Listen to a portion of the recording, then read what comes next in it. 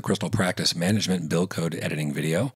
My name is Adam, and in this video I will be demonstrating how to modify bill codes in Microsoft Excel using the complete bill code list supplied by Crystal.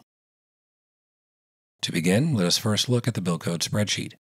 You will notice that the spreadsheet being displayed is our complete list, which includes contact lens bill codes, professional service bill codes, ophthalmic lens bill codes, ophthalmic material bill codes, ophthalmic treatment bill codes, and our VSP bill codes used for offices that will be utilizing the VSP integration in Crystal.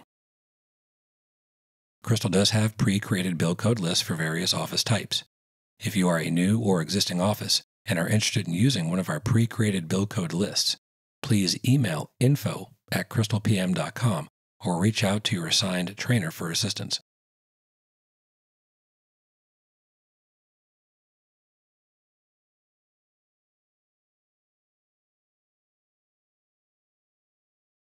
The best way to approach editing the bill code spreadsheet is in two phases.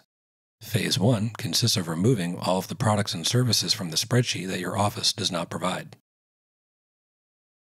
Phase 2 consists of pricing out the remaining bill codes. Removing a bill code is done by selecting a line item from the left-hand side of the screen. This should highlight the entire line item. You will need to right-click on that line item, which gives you a list of options you will need to choose the Delete option to remove the bill code. If you right-click on an item to delete it and get this window, then immediately press the Cancel button. If you proceed, you will only delete the information in that particular cell. This result will lead to the line items in that column not matching the remaining line items as shown here.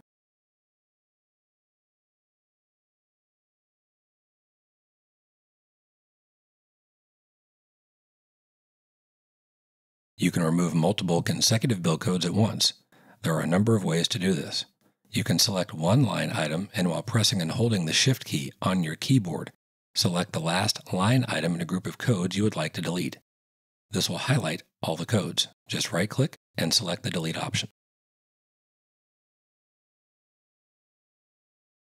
If you mistakenly delete a bill code or multiple bill codes, you can reinstate them with the Undo button at the top of the screen. Another way to remove multiple consecutive bill codes is to select one line item and while continuing to hold the left mouse button down, drag the mouse down on the screen. This will select multiple bill codes. When you have selected all the bill codes you wish to delete, right-click and choose the Delete option. It is strongly recommended that you do not remove any of the VSP bill codes unless your office is not planning on using the VSP integration. Once you have removed all the bill codes for the products and services you will not provide, you will need to add the prices to the remaining line items. This is done in column N on the spreadsheet, which I will highlight green. As you can see, the column name is fee and represents the retail fee of that product or service. This is not to be confused with column R, which is labeled as cost. This field represents the wholesale cost for the product or service and is only used for reporting purposes.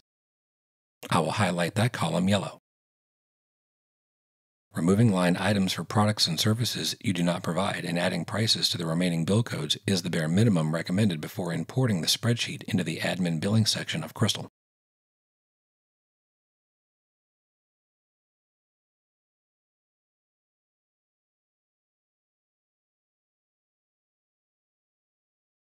Additionally, if there are any products or services you provide that are not listed on the bill code spreadsheet, you can add those bill codes to the spreadsheet prior to importing the spreadsheet into Crystal. These bill codes can also be added directly to Crystal after the bill code spreadsheet has been imported if you would prefer not to add them directly to the spreadsheet prior to importing. Adding new bill codes to the spreadsheet is relatively easy. The easiest way to create a new bill code is to initially copy the information from cell F through cell X. and paste that information in a blank line on the spreadsheet. Once the information has been copied and pasted into the appropriate fields, you will need to populate the following information. The bill code ID in cell A. This is an in-office nickname to the product or service in which you are creating the bill code for. It cannot be longer than 20 characters and no two bill code IDs can be identical. The procedure code in cell B will need to be populated with the appropriate procedure code. If you are using V codes or S codes, it is recommended to use the uppercase V or the uppercase S. The time field can be left blank or populated with a zero. The description field in cell D should be populated with the appropriate description no longer than 60 characters. The category column in cell E should be populated with the appropriate category for the bill code being created. Categories are used for reporting purposes and will be talked more about in the admin training video and the admin deep dive billing section training video. Once you are done editing the bill code spreadsheet and are ready to import the spreadsheet into Crystal, you will need to make sure you save your work and close the file in Excel. The file format must be saved in the .csv file format. If the file is saved in any other format, it will not properly import into Crystal.